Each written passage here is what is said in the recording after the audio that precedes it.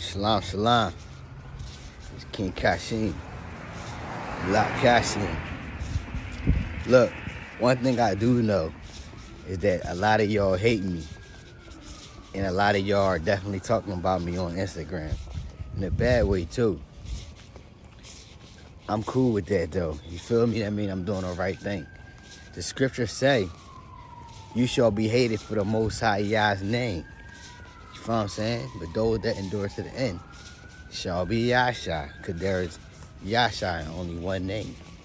You feel what I'm saying? I didn't learn the Most High's name through the Tetragrammaton. I learned it through his Ruach, his spirit, his language, and his scriptures. You feel what I'm saying? It's a total difference.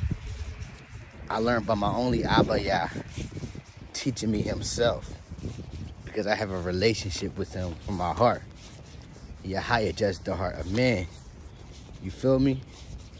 So what I'm saying is, it's cool. He said, you shall be hated for his name's sake. How many of y'all are literally deliberately getting hated for his name only, outside of anything else? Hmm. I'm cool with that.